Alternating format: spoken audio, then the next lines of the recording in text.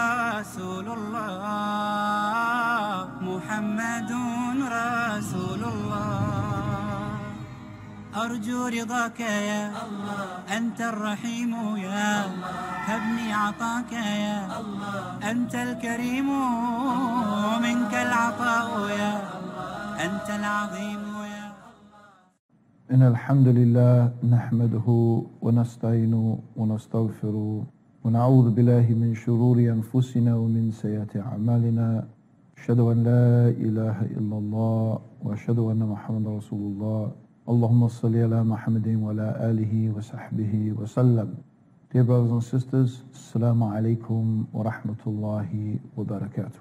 In our last discussion, we talked about clothing, the importance of how we should present ourselves in front of Allah subhanahu wa ta'ala, but not only how we should dress, but what should that create in terms of our inner condition? Because this discussion is, after all, about the inner dimensions of worship, how outward actions should be reflected by our inner condition, how the things that we do on the outside should also affect us on the inside.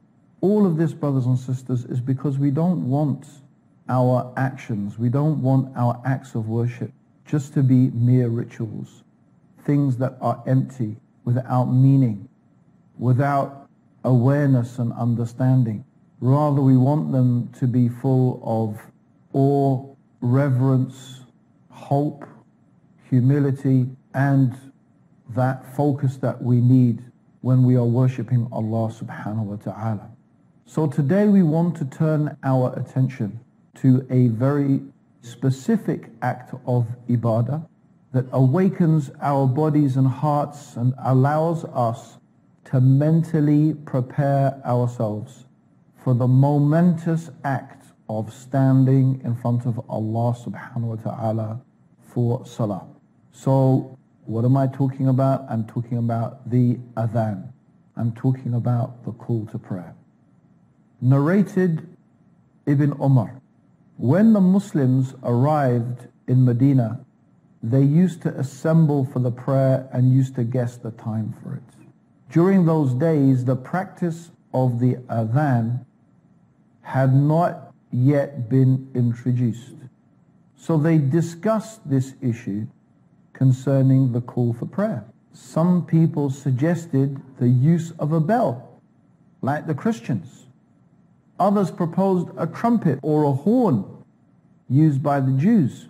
Some suggested lighting a fire. But Umar was the first to suggest that a man should call the people to the prayer. So the Prophet ﷺ ordered Bilal to get up and pronounce the call for prayer.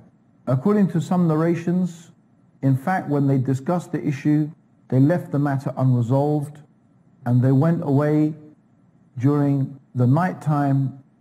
Two people had a dream and in the dream they all saw and heard this call to prayer. So this, the Prophet ﷺ took this as a very solid confirmation that this was what Allah subhanahu wa ta'ala wanted them to do. And this is how the adhan or the call to prayer came to be instituted. This is a great blessing, brothers and sisters. What, amongst the blessings of the call to prayer, it doesn't depend upon a bell, which can be quite complex and complicated. Imagine having to carry bells around with you everywhere or mount bells up in towers and so on and so forth.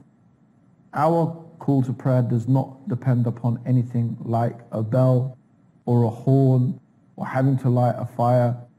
It's something much more natural and in many ways something much more beautiful, the human voice.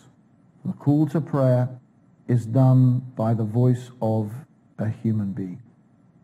And it's very interesting that the Prophet ﷺ, he used to say to Bilal, comfort us with the adhan. This really gives us an insight into the attitude of the Prophet ﷺ concerning the prayer. Because we can understand from this that the Prophet ﷺ, his real pleasure, his real delight, his real happiness was in the remembrance of Allah subhanahu wa ta'ala. This is where his heart found rest. And in reality, this dunya, this world and the things of this world are distracting. Really, for him, the world was a distraction. The world was a hardship. The world was a difficulty. And in the prayer, he found rest. For most of us, it's the other way around. We think of prayer as a difficulty. We think of prayer as being a burden. We think of prayer as being a nuisance and something that gets away in our enjoyment of the world. But for the Prophet ﷺ, it was almost exactly the opposite. The prayer was where he found rest and found delight. And it was that call to prayer, that call to prayer that prepared the heart of the Prophet ﷺ, the mind of the Prophet ﷺ for this encounter, this meeting with Allah subhanahu wa ta'ala. Because in reality, brothers and sisters, that's what as-salah is. So we found that the Prophet wasallam, Aisha, used to say that when the Prophet wasallam he heard the call to prayer, he would become like a different person. He would be sitting with them, interacting, you know, talking. When the call to prayer came, the state of the Prophet wasallam, it would change, and he would become as if he was a different person. This is what I was talking about. Preparing oneself for this prayer.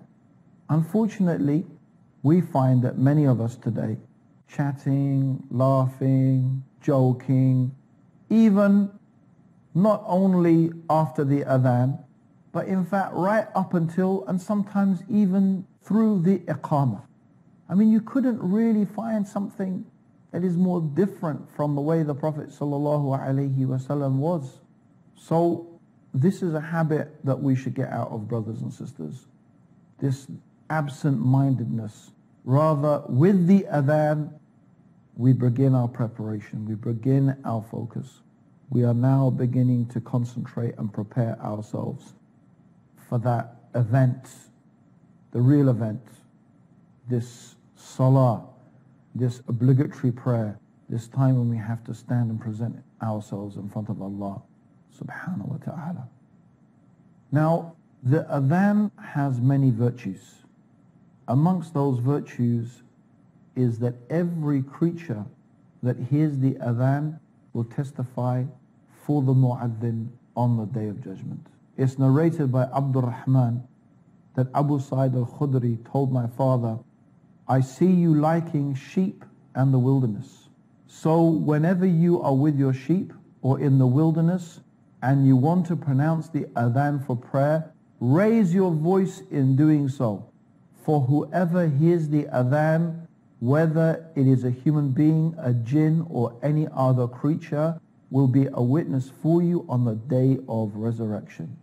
And Abu Sa'id added, I heard this narration from the Prophet sallallahu alaihi wasallam. Bukhari collected it. So my brothers and sisters, think about that. That when a person makes the adhan, every creature, every human being, every jinn, every ant, every bird, every insect, every living creature that hears this call to prayer will testify on behalf of that person on the day of judgment. Subhanallah. No wonder the Prophet sallallahu he said that if you knew the virtue and the reward of making the adhan, you would draw lots or even you would fight each other to get that privilege and to get that right. It's so different from today. Oh brother, you make the adhan. No, no, you make the adhan. No brother, you make the adhan. Subhanallah. No one wants to make the adhan. And when they do, say, Allahu Akbar. No one even makes it properly. Subhanallah. So, brothers and sisters, this is the very different attitude that we find that the companions had towards worshipping Allah subhanahu wa ta'ala. We need to develop that awareness, that focus, that inner state, that enthusiasm for these acts of worship for Allah subhanahu wa ta'ala. Inshallah, then Allah will give us real success in this life and the next. Another beautiful thing, another virtue of the adhan is shaitan flees. When he hears the adhan, he flees, he runs away. And Abu Huraira said that the Prophet ﷺ said, when the adhan is pronounced, shaitan takes to his heels and passes wind with a noise. So he may he passes wind loudly to so he doesn't have to hear the adhan during his flight in order not to hear the adhan. And when the adhan is completed, he comes back and he whispers into the heart of the person to divert his attention from the prayer. So this is another thing, brothers and sisters, of course. We shouldn't forget the enemy, the sworn enemy to all of us, shaitan. He is always trying to divert us away from the remembrance of Allah subhanahu wa ta'ala. That's what he is trying to do. So, but when he hears the adhan, he hates it so much, he flees and he breaks wind loudly so he doesn't have to hear it. And again, he does this again when the iqamah is sounded. So when the iqamah sounds, the same thing. He does the same thing. He hates to hear the noise of the adhan. But then, of course, when it is finished, he comes back to whisper and to distract the person, to get their mind thinking about everything except Allah subhanahu wa ta'ala. This is the trick of shaitan. Even to the extent that then subhanallah and shaitan whispers and then makes you remember things that either you have forgotten. Subhanallah. We'll take a short break and we'll be back with you in a few minutes inshallah.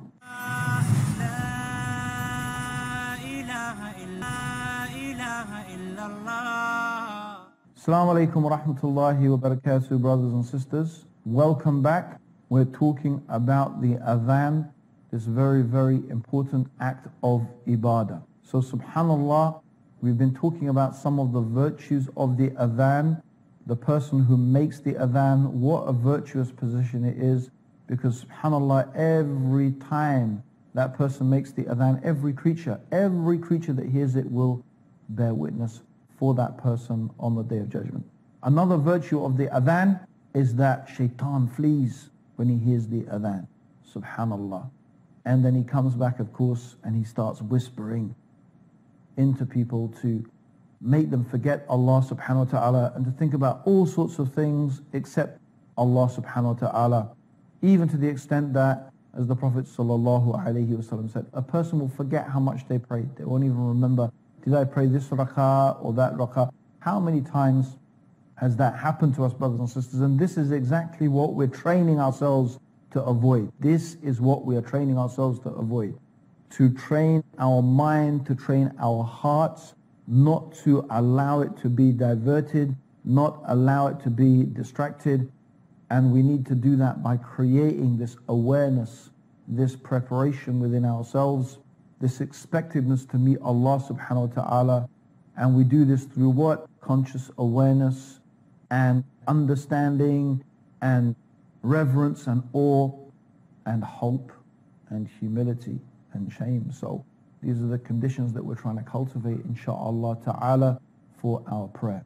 So brothers and sisters, of course, one of the things that we should do is when we hear the call to prayer, we should repeat what the mu'adhin says. So when the muaddin says Allahu Akbar, Allahu Akbar, we again then we should repeat Allahu Akbar, Allahu Akbar. So when he says it, we should repeat what the muaddin says. So Allahu Akbar, Allahu Akbar, the muaddin says that. Then we repeat. What does Allahu Akbar mean? Allahu Akbar. We say this a lot. We say it in the adhan. We say it many times during the prayer itself.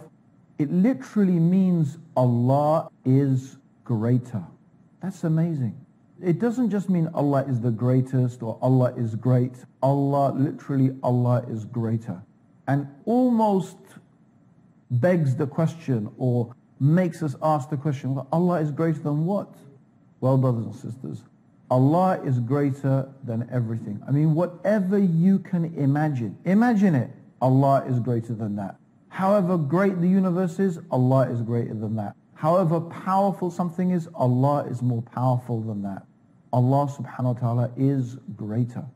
Subhanallah. So Allahu Akbar, Allahu Akbar, then you repeat Allahu Akbar, Allahu Akbar. Then the mu'adhin says those very important words, Ashhadu an la ilaha illallah, testifying, witnessing, I testify and bear witness that there is nothing worthy of worship except Allah.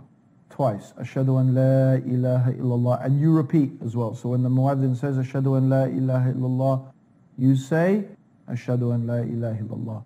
When the muaddin says Ashhadu anna Muhammadan Rasulullah, I testify, I bear witness that Muhammad is Rasulullah. He is the messenger of Allah. He is the one to whom Allah subhanahu wa ta'ala sent the message. Again you repeat, Ashadu anna Muhammad Rasulullah. And then when the mu'adhin says, Hayya ala salah, it means come to the prayer. Come to as-salah. The mu'adhin is calling us, calling the Muslims to as-salah. Come to the prayer in the masjid in congregation. And then he says, Hayya ala al-falah. What does that mean? Come to success. SubhanAllah, brothers and sisters. This is just beautiful. How do we define success? Most people ask them, what is success? They will say, oh, this much money, a nice car, a nice house, wife and kids, a job like this. You know, most people, when they think about success, they will think about worldly things. They will think about their position. They will think about power, authority, money, beautiful things, and they will say, oh, now I'm successful. I have respect in the community. I have respect amongst my friends. You know, I'm the cool guy. I'm the beautiful girl. People think this is success. SubhanAllah. This is not success.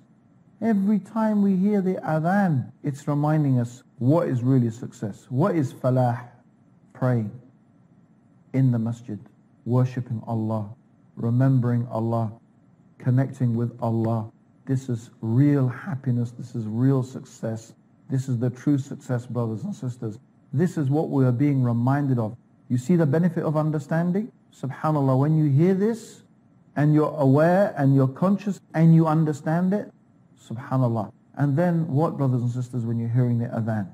Also, you feel reverence and awe for Allahu Akbar. The reverence for Allah, the awe for Allah subhanahu wa ta'ala, if you just contemplate on the vastness and the magnitude of our universe, the power of the forces of nature, and you think, Allahu Akbar. Allah is greater than all of that. His power is more than all of that. Even all of this is nothing compared to just like a ring in the desert compared to the kursi. And the kursi is like a ring in the desert compared to the arsh.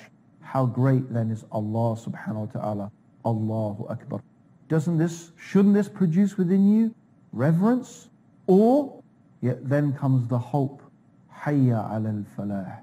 Because you hope that you are going to be the person who has falah. You hope that you are going to be the person that has success, the true success. And what is that true success linked to? La hawla wa la quwwata illa billah. It's linked to salah. La hawla wa la quwwata illa billah means that all the strength and the power is from Allah. Why are we saying La hawla wa la quwwata illa billah. To remind ourselves, brothers and sisters, simply that the strength and the power is from Allah.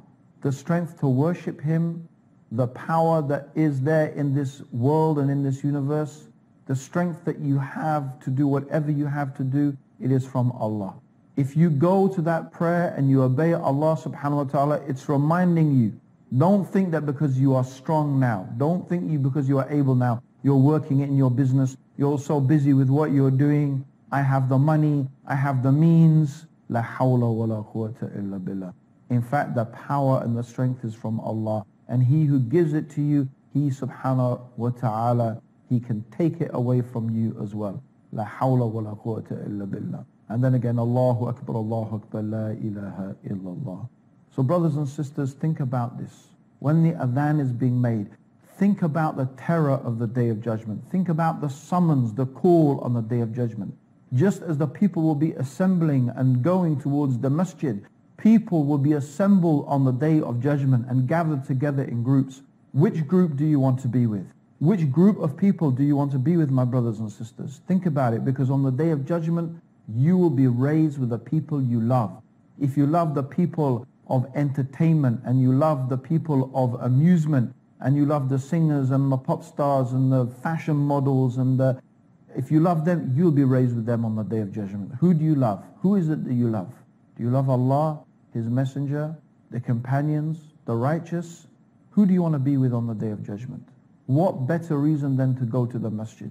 To be surrounded by the people who worship Allah subhanahu wa ta'ala to be surrounded by the righteous. So just as on the day of judgment you want to be amongst the righteous people, go to the masjid and be with the righteous people. This is what the adhan is telling us, brothers and sisters. Think about that. Think about the day of judgment. Think about the day of gathering. Think about that call on the day of judgment. Where do you want to be? Do you want to have shade on the day when there is no shade but Allah's shade and the sun is brought close and people will sweat?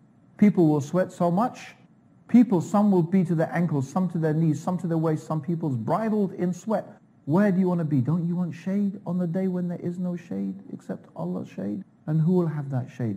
One of those people is the person whose heart is always attached to the mosque. So subhanAllah, brothers and sisters, okay, prepare to respond to that call outwardly and inwardly. If your heart is full of happiness at hearing this call and answering it, then you can expect happiness on the day of judgment. But if you're feeling sad and you're feeling, oh, this call to prayer, this is disturbing me, how is your condition going to be on the day of judgment? And of course, don't forget that when you hear the adhan, you make the dua, which means, oh Allah, Lord of this perfect call and prayer, give Muhammad sallallahu alayhi wasallam the right of intercession and give him superiority on the day of judgment and give him the highest place in paradise which you promised him. And whoever says this dua when they hear the adhan, then the intercession of the Prophet, this is the intercession of the Prophet, brothers and sisters. When we talk about the intercession of the Prophet, this is what is meant, the intercession of the Prophet on the day of judgment. Sallallahu alayhi wasallam. If you want that, if you want the Prophet to intercede for you, the way you get it is by making this dua after you hear the adhan. And then let one hasten and respond to attend the prayer in the masjid. Because in this, my brothers and sisters, is a great reward. And in failing to attend the salah in the masjid, when you hear the call to prayer, is a great disgrace. And that's something that, insha'Allah ta'ala, we're going to be talking about in the next episode, which is going to be the benefits and the rewards of praying in the masjid. Until then, my brothers and sisters, remember to practice what you have learnt, implement what you've been learning today, subhanallah, and don't be like those people about which Allah talked about in his book. They're like donkeys with books on their backs. You got the knowledge, you're carrying it around, but how does it benefit you if you don't act upon it? So all of this, brothers and sisters, is to be acted upon. And so until the next episode, Assalamu alaikum wa rahmatullahi wa barakatuh. الله الله يا ربي يا الله الله يا ربي الله أكبر الله الله أكبر